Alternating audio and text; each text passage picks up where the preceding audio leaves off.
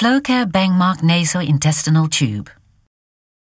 The Flocare Bengmark nasointestinal tube is intended for transnasal feeding directly into the duodenum or jejunum. This tube is indicated for all patients who have a functioning intestinal tract with impaired stomach motility and or increased risk of aspiration. This is frequently the case in the early post-operative period. Early post-operative intestinal tube feeding reduces the risk of atrophy of the small intestine and reduces the risk of bacterial translocation. If there is stomach motility, the tube can be placed in the stomach.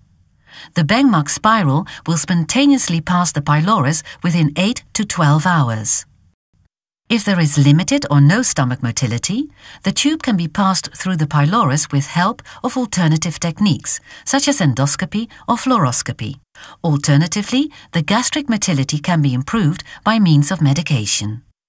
Product description The Flocare Bengmark nasointestinal tube has the following characteristics. White, full opaque polyurethane tubing. Length 145 centimeters. Bullet tip with two lateral outlets and hydromer coating, which lubricates the tip after submerging it in water.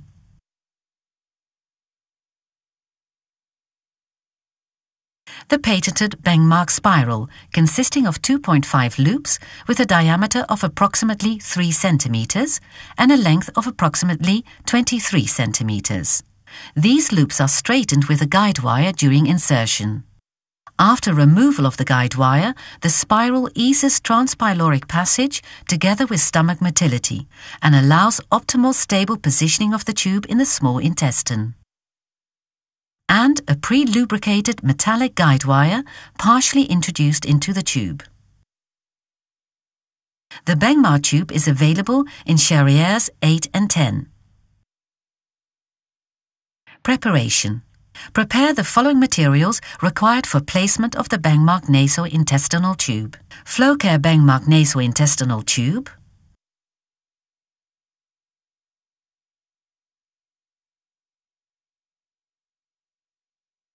Hypoallergenic tape.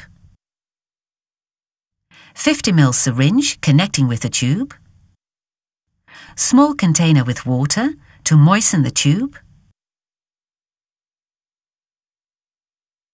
Tape or a marker to mark the correct placement of the tube. Gloves. Small towel. Handkerchief. Glass of water.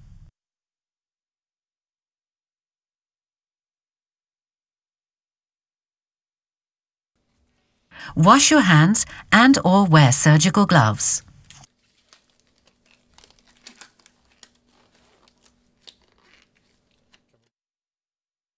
Placement for patients with stomach motility.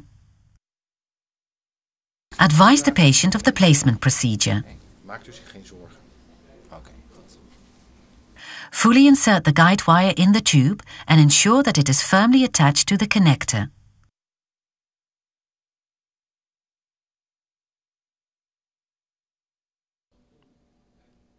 Place the patient in a comfortable sitting or semi-recumbent position. To determine the length of the Bengmark tube to be inserted, measure the distance from the xiphoid process of the sternum to the tip of the nose and then to the ear.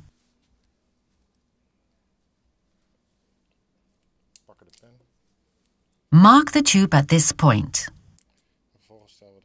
Make two additional marks at 25 centimeters and at 50 centimeters after the first mark, closer to the feeding connector.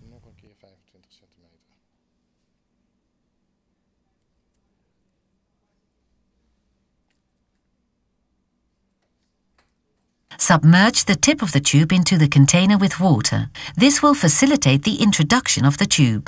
Ask the patient to blow his nose. Choose the nostril through which the patient breathes most easily. Ask the patient to bend his head backwards and introduce the tube into the chosen nostril.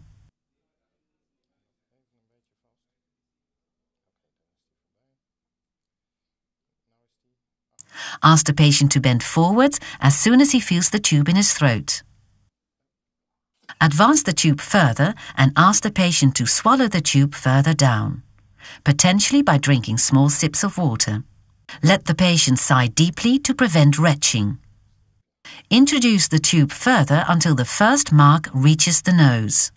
Subsequently, check if the Bengmark tube is adequately placed in the stomach through aspiration of gastric contents. Measure the pH value of the gastric contents using pH paper. The tube is correctly placed in the stomach if the pH value is below 5.5. If the measured pH value is higher than 5.5, the appropriate tube placement needs to be confirmed through X-ray. The tube is fully radio-opaque. Note the pH value in the patient's medical chart.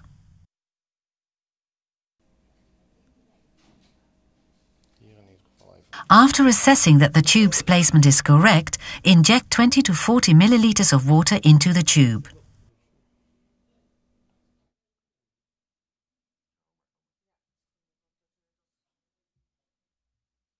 Pull circa 25 centimeters of guide wire out of the tube.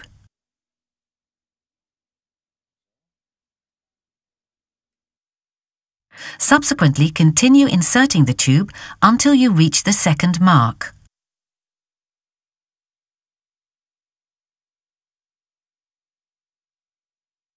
Now pull the guide wire out of the tube completely.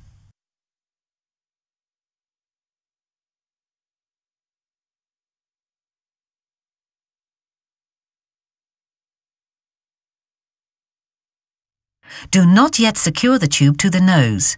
Use the earlobe as a temporary fixation point.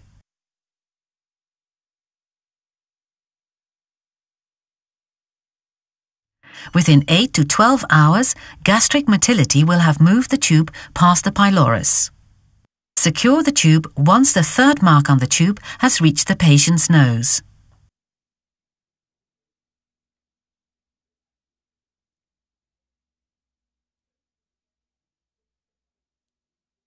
Before administering any enteral nutrition, check if the tube is positioned correctly by X-ray.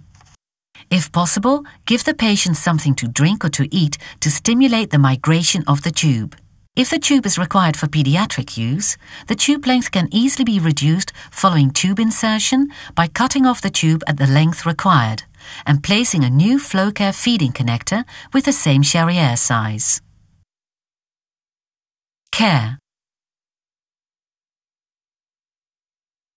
Work hygienically and aseptically. Care of the nose and mouth are very important. Change the hypoallergenic tape that fixes the tube daily. Clean the skin thoroughly. If the skin under the tape is damaged, remove the tube and place a new tube in the other nostril. Take good care of the damaged skin. Ask the patient to blow their nose on a regular basis. If this is impossible, clean the nose with saline. Even if the patient is not able to eat, it is very important to take good care of the mouth, teeth and lips. Check the placement of the tube prior to feeding and at least three times a day. When in doubt, use X-ray to check the position. Flush the tube with 20 to 40 milliliters of water before and after administration of feed or medication, and at least every 8 hours. If the tube does get blocked, flush the tube with lukewarm water. Do not use excessive pressure to prevent tube rupture. Use a syringe larger than 20 ml. If this does not resolve the blockage, gently squeeze the tube between your fingers along the length of the tube. Do not use any other fluids to flush the tube. Never reinsert a guide wire to solve tube blockage, as this may cause perforation of the gastrointestinal tract. If the tube clogging is not resolved, remove the tube and place a new one. The Flocare Bengmark nasointestinal tube can stay in situ for six weeks. Always use an enteral feeding pump to control the flow rate when delivering feed in the small intestine. Please read the instructions for use on the packaging and guidelines. Immediately stop feeding and ask for medical help when there are doubts about the patient's medical condition. For example, shortness of breath or abdominal pain.